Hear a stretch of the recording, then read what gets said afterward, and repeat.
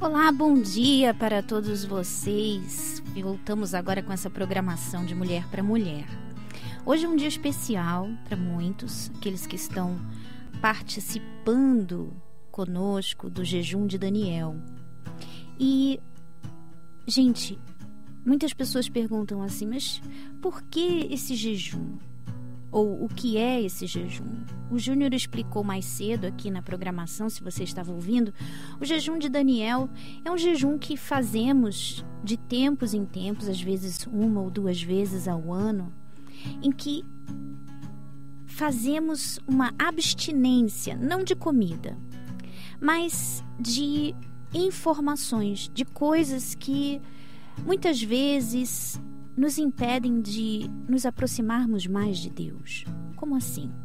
Por exemplo, hoje em dia, com toda essa tecnologia, com toda é, essa evolução, a gente vê isso claramente. As pessoas parecem, até mesmo a gente, até mesmo nós, parecemos muitas vezes é, hipnotizados pelo celular, pelo computador e muitas vezes abdicamos de um o nosso tempo para Deus, nós estamos intertidos com a internet, com as redes sociais. Então, durante esse período, em vez de estarmos nas redes sociais, estarmos na TV assistindo coisas que nos afastam de Deus, nós vamos estar abdicando desse tempo para investir, para investir na nossa vida espiritual com Deus. Em vez de você estar assistindo TV, você vai estar meditando, ou se é aquele momento, porque eu tenho um momento assim, não sei se vocês são assim, tem dias que eu tô tão cansada, minha mente está cansada, que eu chego em casa e eu ligo a televisão, mas eu nem assisto, sabe como? Só para ficar passando as imagens e eu fico assim até sem volume, só para espairecer um pouco, né? Mas se você é desse tipo que precisa, então você vai colocar um filme bíblico, uma coisa que quando você conecte ali, você venha ainda estar no espírito, você ainda venha estar ligado às coisas de Deus. E hoje eu quero falar de coisas que venham a te ajudar durante esse jejum. De repente você já participou de vários jejuns e você não quer que esse seja apenas mais um, você quer algo diferente, você quer fazer algo a mais, você quer despertar algo diferente na sua fé. Nós vamos estar falando já já sobre isso logo depois dessa canção. Música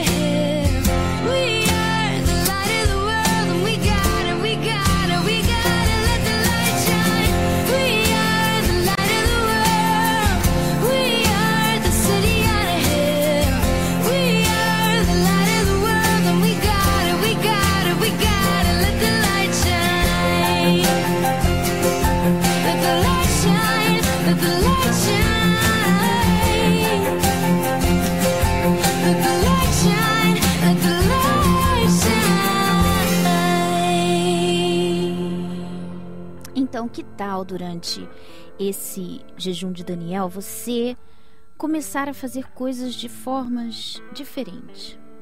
Por exemplo, que tal você começar a se observar? Porque não adianta você se abster da internet, das redes sociais e não fazer nada, só ficar. Porque às vezes também, gente, você fica ali, ó. Você vai assistir um programa da igreja, aí você assiste outro, aí você assiste testemunhos, você assiste um programa atrás do outro, depois você ouve a rádio, depois você lê os blogs e você faz um monte de coisa. Mas você se sente ainda como se estivesse longe de Deus. Sabe o que falta? Falta o seu momento com Ele falta a sua intimidade. Então, é claro, vamos sim é, nos abster das redes sociais, mas vamos fazer algo a mais. Faça algo a mais, procure pedir a Deus uma direção. Meu Deus, o que mais que eu posso fazer? Por exemplo, você que ainda não foi batizada com o Espírito Santo, que você ainda não tem o bem maior dentro de você. Então, o seu objetivo principal com esse jejum que seja o batismo com o Espírito Santo. E você não precisa ficar ansiosa, não deixa a ansiedade tomar conta de você, não importa quanto tempo. Você pode estar há 20 anos na igreja, não, não adianta você ficar ansiosa e falar assim: ah, poxa vida, eu estou há 20 anos na igreja e, e nunca fui batizada com o Espírito Santo.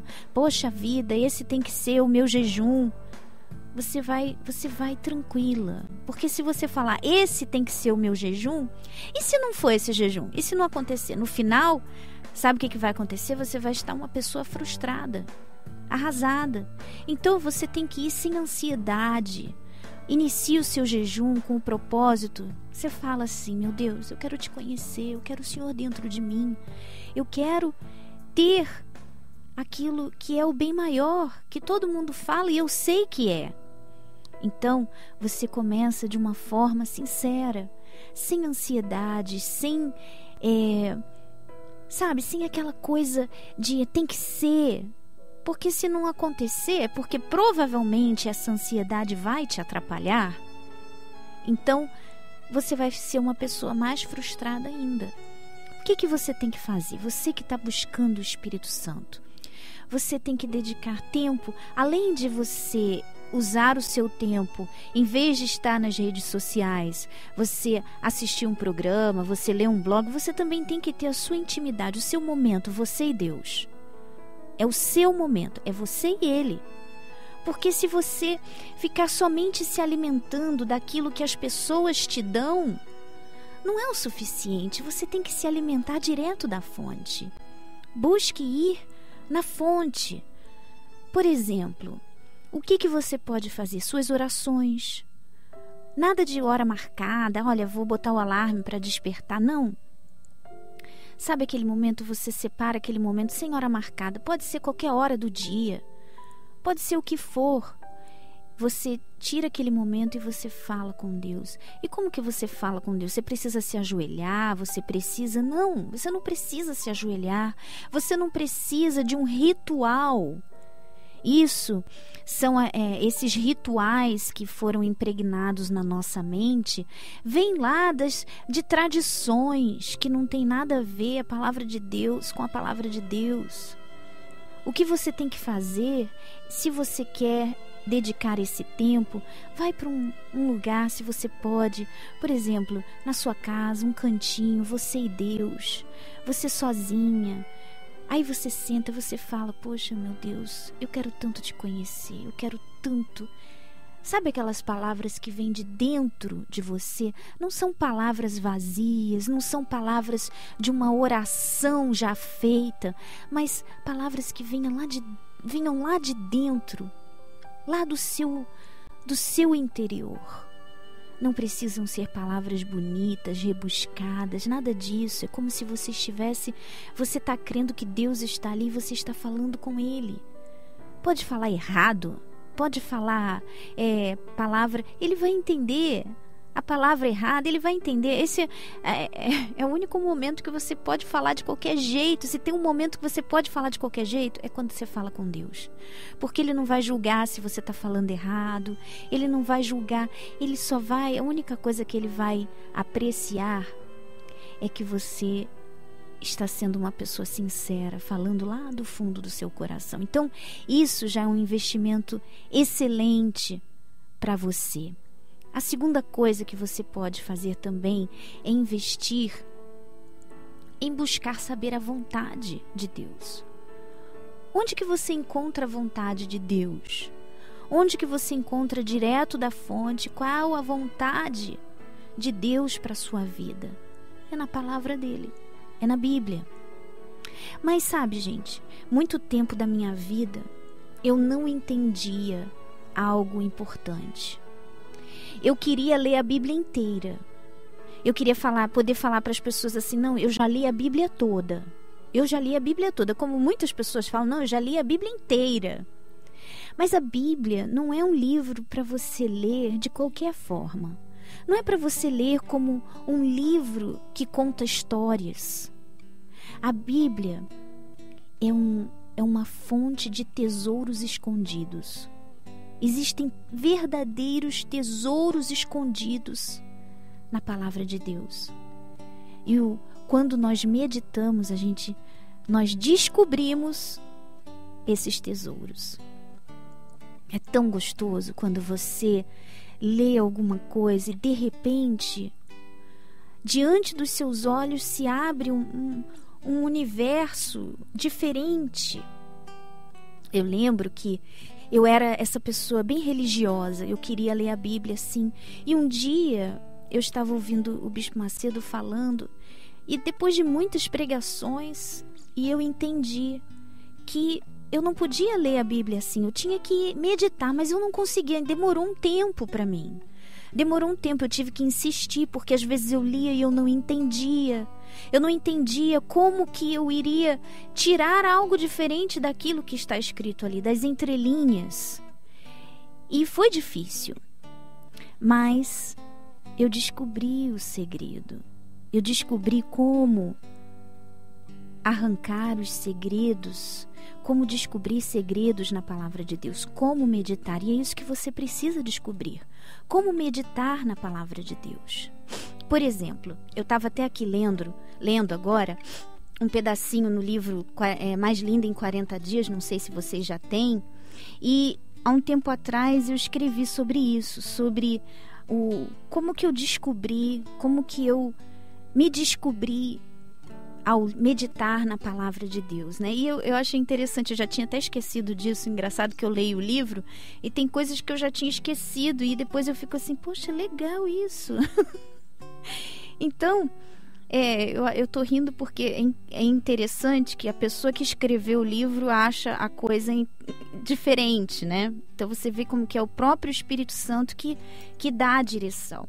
Então, eu estava lembrando aqui, relendo, de uma passagem que eu, eu gostaria de dar o exemplo para vocês. Tem uma passagem lá em Gênesis, quando os anjos iriam destruir a cidade de Sodoma e Gomorra, e lá estava Ló e sua família.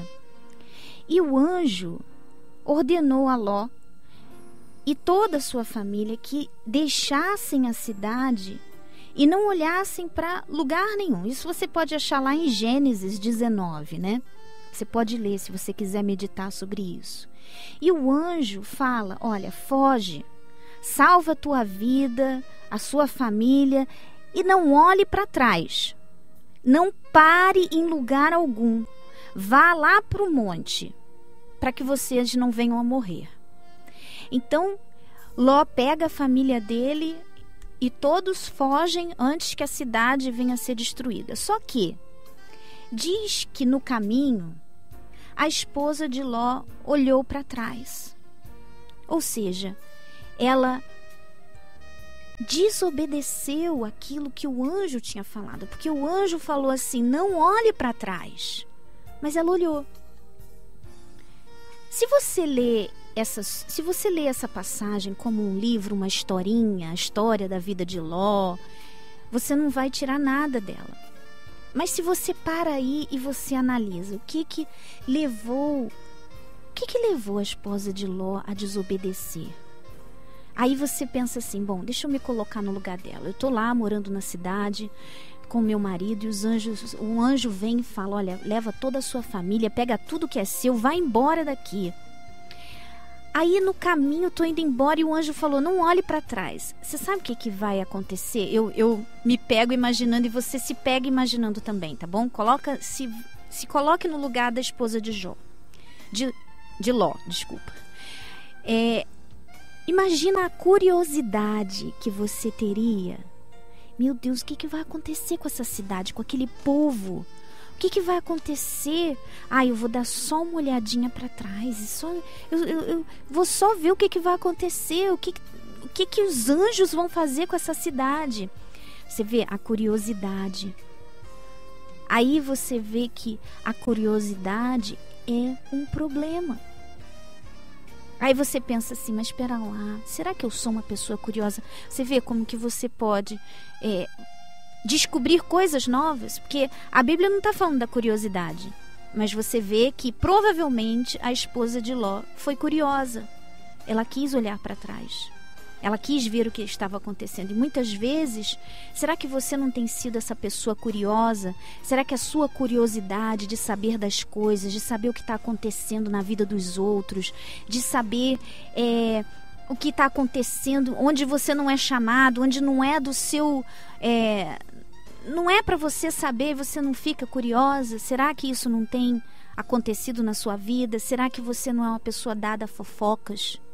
Porque geralmente quando você é curiosa, você é dada a ser fofoqueira, porque a curiosidade leva a fofocas. Leva você a querer saber, a ficar perguntando, a ficar falando, dando informações. Então você vê, Olha só, aí você traz para sua vida e você pergunta: será que eu tenho sido uma pessoa assim? Uma pessoa curiosa? Será que eu tenho sido essa curiosidade tem me atrapalhado? Aí você já vê uma coisa que você precisa eliminar da sua vida. Você já percebe, tá vendo?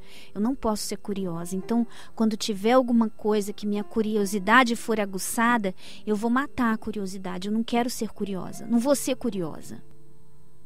Olha só como que um, um versículo, um verso, uma parte lá pequenina, quando você se aprofunda, quando você faz perguntas, quando você se coloca no lugar da pessoa, você encontra coisas. Outro lado também que você pode trazer para sua realidade é o fato da pessoa, é, da esposa dele ter olhado para trás. Aí, outro ponto legal também que você pode analisar é o fato quando que você olha para trás. Por exemplo, aconteceram coisas no seu passado, coisas ruins, e toda vez você fica olhando para trás. Deus fala para gente olhar para frente. Ele nos fala, olha, segue em frente, vai na fé, usa sua fé. E na verdade, gente, a nossa vida está na nossa frente, não está atrás da gente. Mas o que, que muitas pessoas erram? Elas ficam olhando para trás. E na verdade, elas viram verdadeiras estátuas de sal, como aconteceu com a esposa de Ló. Ela virou uma estátua de sal ao olhar para trás.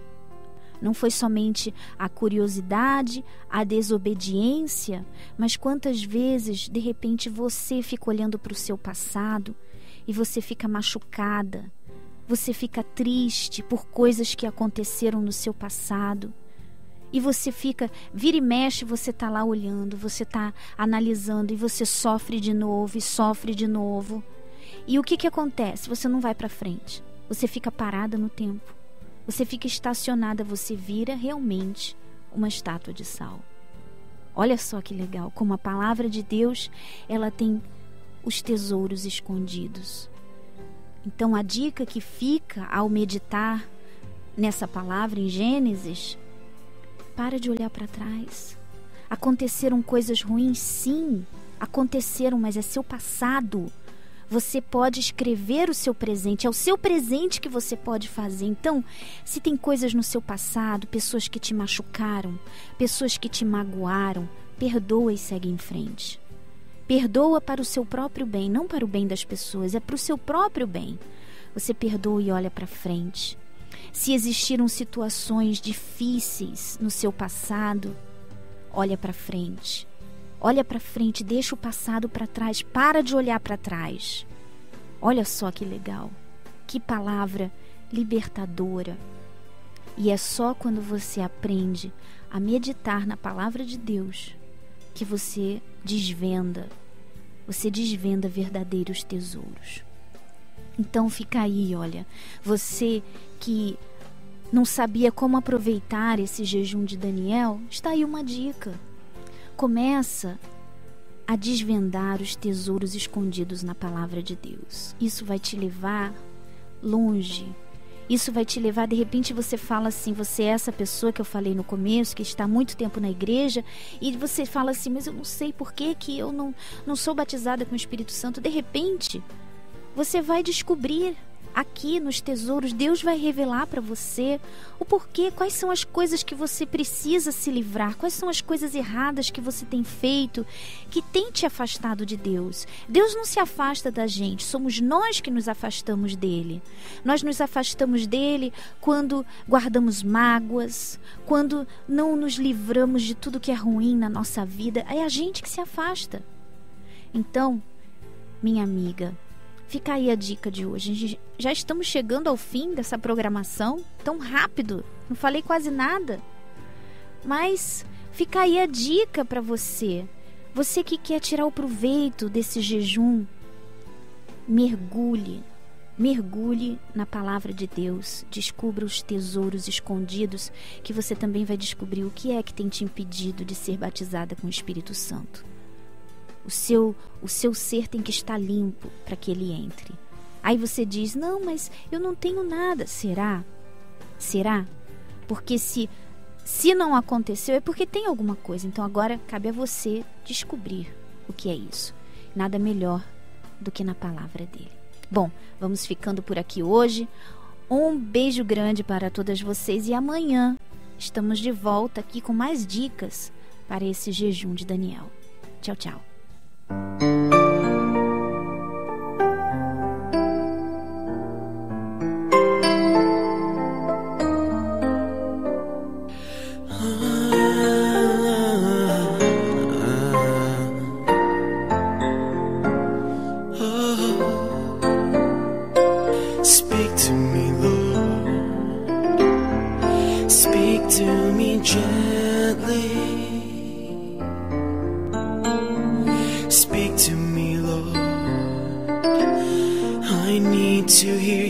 tender voice. Speak to me, Lord, the sweetest sound I want.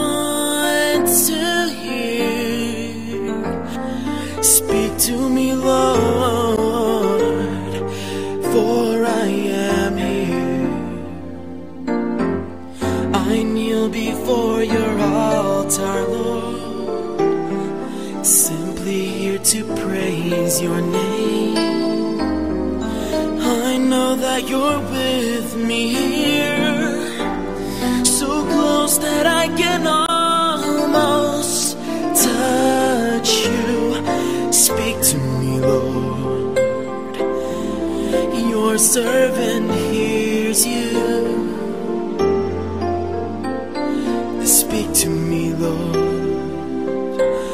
I'll listen to you carefully. Speak to me, Lord, whichever way you wish to speak. Speak to me, Lord. With joy I'll answer to your call. My soul rejoices to your voice. It strengthens me throughout the day. It comforts me when I'm alone.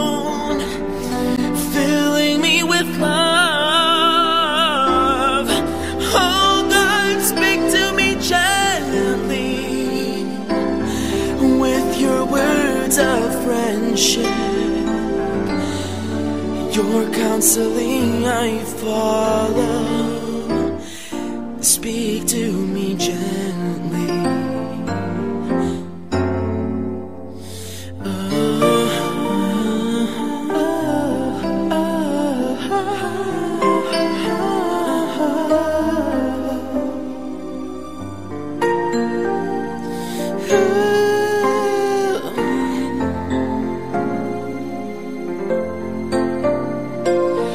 Speak to me, Lord. Your servant hears you. Speak to me, Lord. I'll listen to you carefully. Speak to me, Lord. Whichever way you wish to speak. Speak to me, Lord. With joy I'll answer to your call.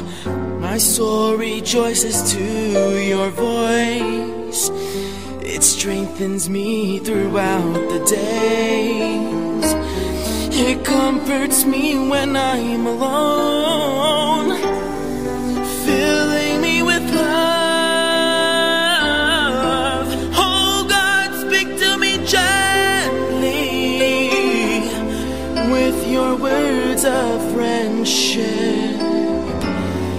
Your counseling I follow.